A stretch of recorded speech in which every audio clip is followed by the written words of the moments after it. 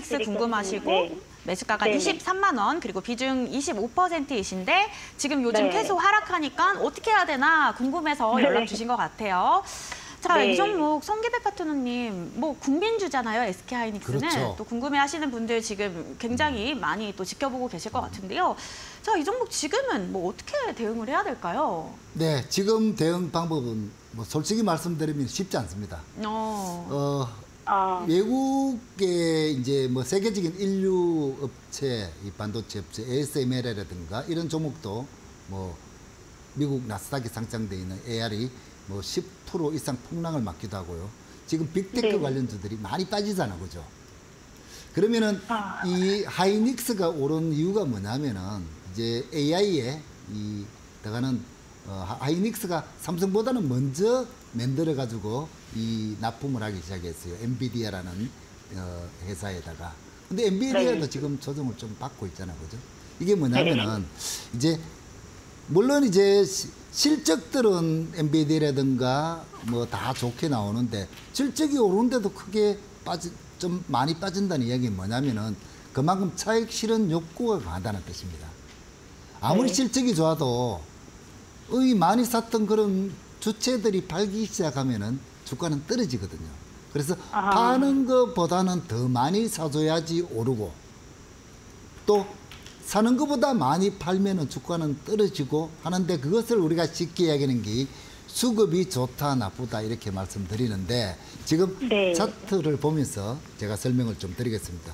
우리가 보통 차트가 살아있다 죽었다를 판단하는 선은 트레이드 입장이라도 트레이더는 더 단기 매매를 하는 분들은 뭐 3일선을 보기도 하고 5일선을 보기도 하고요. 하는데 보통 일반적으로는 22평을 기준으로 해서 보시면 되는데 22평선 가격이 여기에 있습니다. 조금 머리 위에 있어요. 어, 확대를 조금 해드리면은 자 이렇습니다.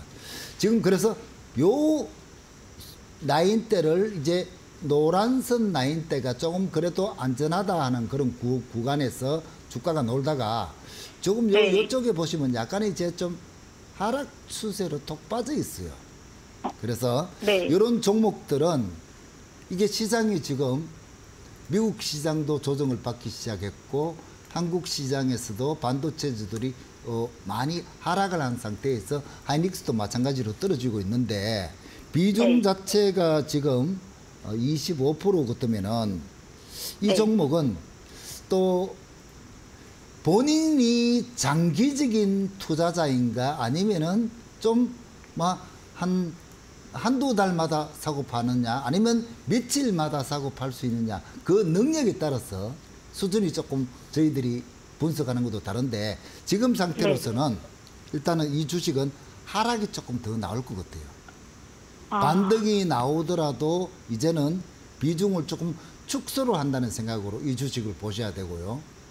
자, 네. 그렇다고 길게 또 장기적으로 보시면 어떻게 되냐면은 또 역시 뭐 한국의 삼성전자와 더불어 하이닉스는 이 반도체가 죽지는 영원히 죽지 않거든요. 그래서 장기적으로 끌고 간다고 생각하시고 내가 분할 매수를 할 것 같다 생각하시면은 뭐 사실은 조정 받을 때마다 매수는 또 가능해요. 그런데 지금 이제 이 종목에 대해서 단기적인 흐름을 보시고 들어갔다면은 조정은 조금 더 나올 것이고 시간이 걸릴 것이다. 아, 해서 이 종목은 아. 그리고 이런 종목들을 뭐 지금 저희들이 사고 팔으라 한다고 해서 그것도 쉽지도 않습니다. 그래서 마음을 그렇게 드시라는 거예요. 내가 이 종목을 장기적으로 네. 보고서 비중을 지금 좀 축소를 하되 더 하락이 나올 경우에는 팔는 만큼 다시 사도 되거든요.